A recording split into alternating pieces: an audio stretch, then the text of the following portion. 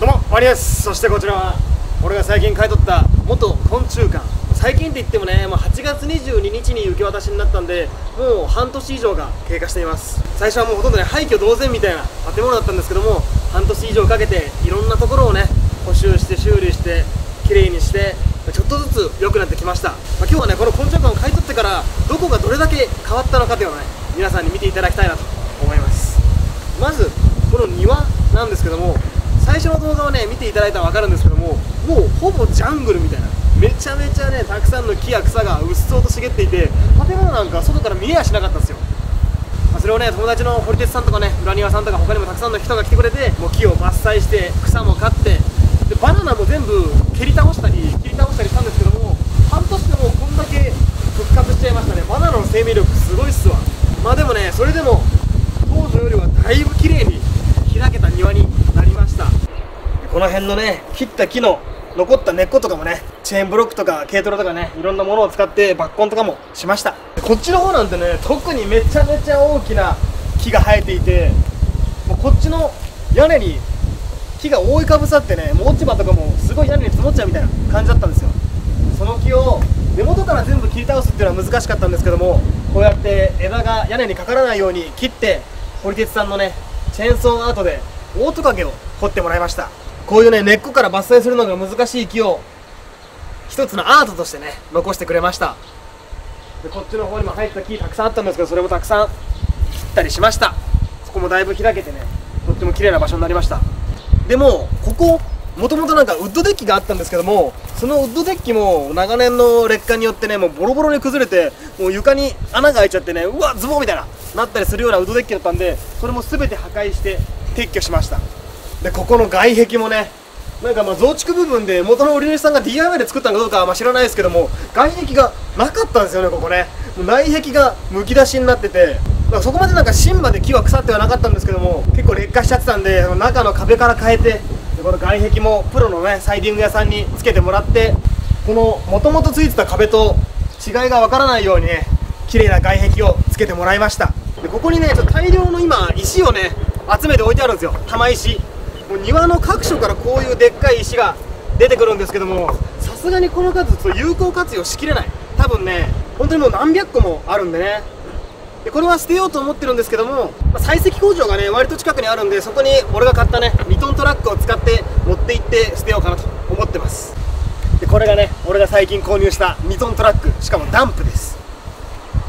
これ今ねゴミが積んであるんですけどもこういうねゴミ捨てとか、まあ、さっきのね石を捨てるのとか。で今後この庭にユンボを入れて土をね掘り返したりしようと思ってるんですけどもその土を運ぶのにも使えるなと思って購入しました。荷台がね3メートルあるんで3メートルの大きな水槽を運ぶのにも大活躍してます。もう昆虫館の改装には欠かせない存在ですね。この昆虫館の屋根とか壁とかえー、外壁関係はもう全部塗り直しました。じいじと爬虫類さんっていうね、まあ、爬虫類関係の YouTuber の方なんですけども本業が塗装の職人さんということでこの昆虫館の作業を手伝ってくれてねあの屋根とか壁とか全部一緒にね教えながら塗らせてくれました。この屋根はねもともと緑色だったんですけど今はね赤くて可愛い感じになってますし外壁もねもっと汚かったんですけども綺麗な色に塗り直しましたこっちの増築部分の外壁もねもともと普通にもう金属のむき出しの色だったんですけども母屋の方と色を合わせました。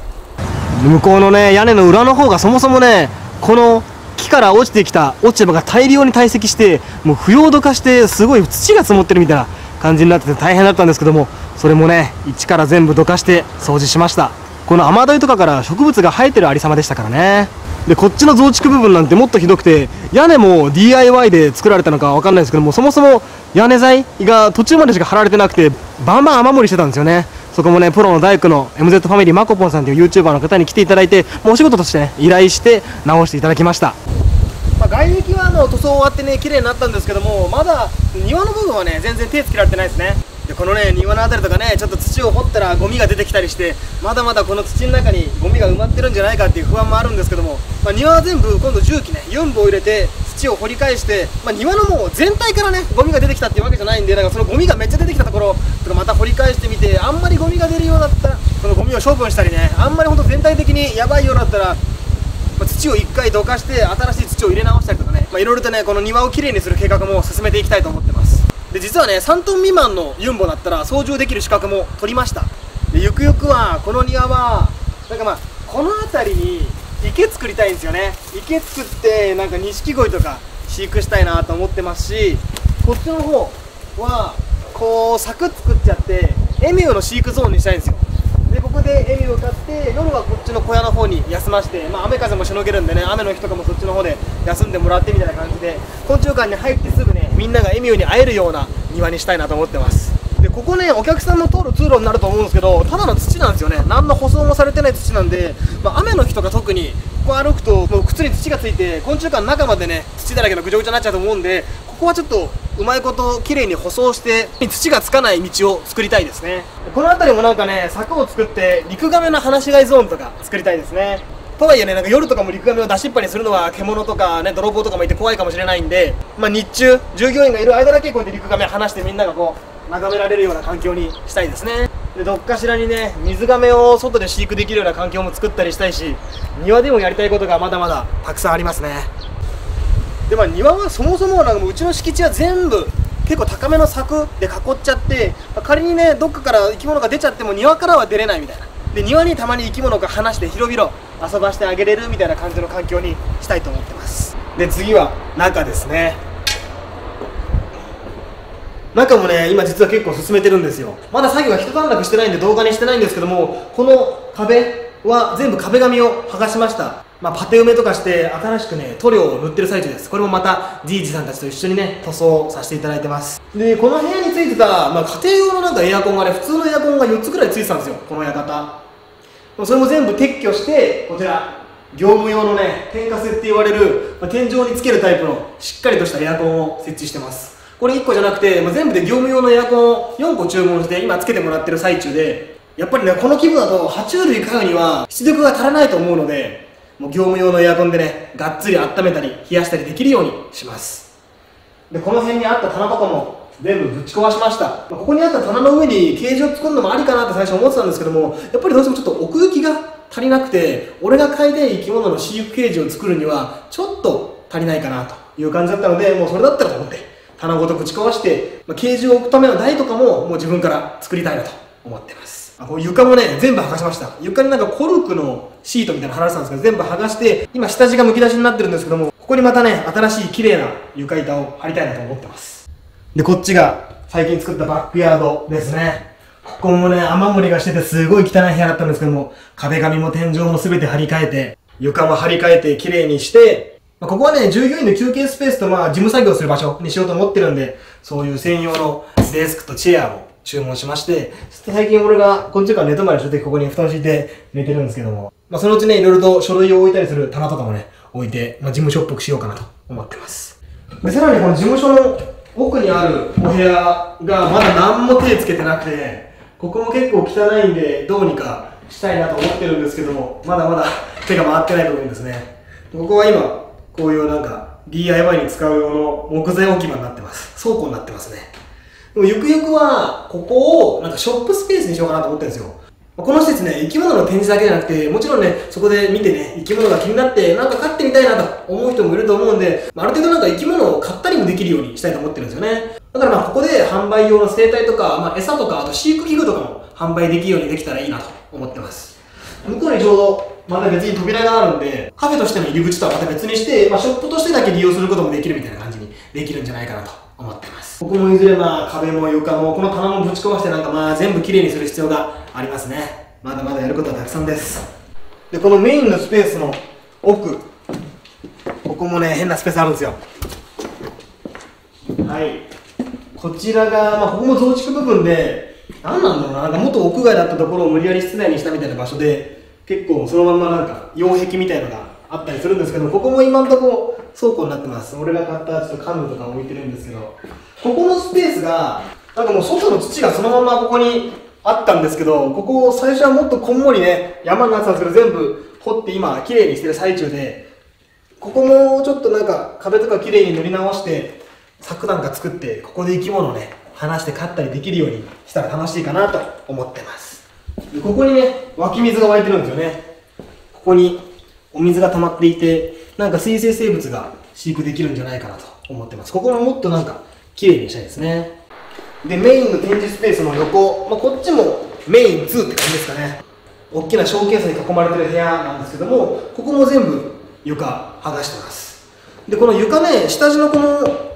ベニヤ板みたいのをさらに剥がすと下がねもう全部コンクリなんですよこのコンクリもめちゃめちゃ分厚くて多分5 0センチくらいの深さでもうしっかり敷かれてるコンクリなんでこの建物自体全体的に床はめちゃめちゃ頑丈です。だから俺がもうどんだけ重たい水槽を置いても床の心配する必要はありません。もともとねここはねこの真ん中にめちゃめちゃでかい3メートルぐらいの桶みたいなのを置いてそこにもう土をガンガン入れてめちゃめちゃ重たいものを置いたりしてたみたいですね。ここの床もしっかりと張り替えます。でこのショーケースを使ってさそのまんま生き物を展示できたらすごい展示になるなって思ってたんですけども例えばこっちとかどうしてもね奥行きが全然ないんですよ。ここ奥行き40センチくらいしかないんじゃないかな。そのくせも横は5メートルぐらいあるし高さもね1メートル何十センチくらいまであるんですけど奥行きがなさすぎてこのまんま生き物を飼育スペースに使うにはさすがにちょっと使いづらいなと思うのでこのガラス大きくて多分ね買ったりしたらめっちゃ高いと思うんですけどもったいないんですけどここは壊そうと思ってます。でもどうにかこのガラスだけ外してねどっかで有効活用できればいいんですけど難しいかなと思ってます。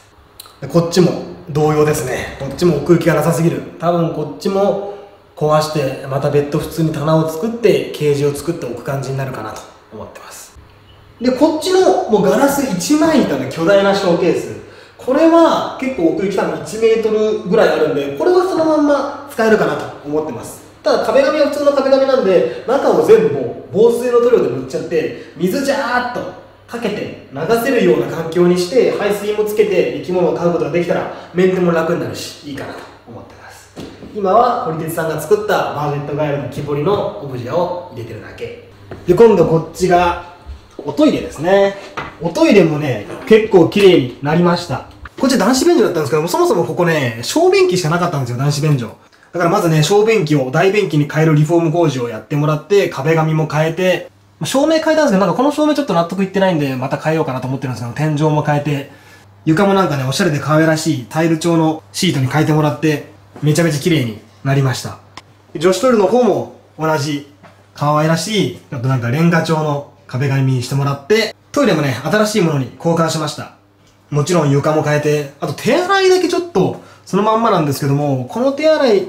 どうしようかな、なんかもっと綺麗な、おしゃれなやつに交換しようかなーって今、悩み中です。ただこの手洗いのなんかサイズがすごい微妙で、幅が50センチくらい、高さ90センチくらいあって、この手洗いを外すとやっぱ壁紙が、ここもね、剥がれちゃうじゃないですか。だからそこを覆って、完全に剥がれちゃった壁紙の部分とかを隠し通せるようなサイズの手洗いが今あんまり売ってなくて、そこどうしようかなって悩み中です。で、ここがさらに増築部分ですね。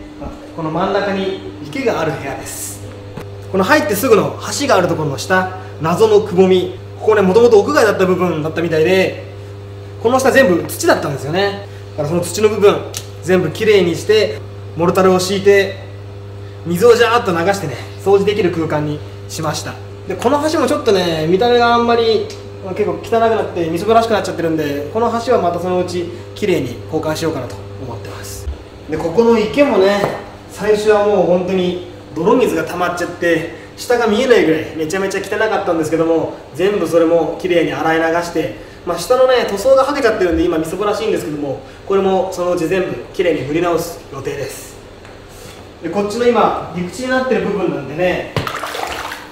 ここも下がもう土で木とか造花がこうぶわーっと置かれてたんですよね。それを全部どかして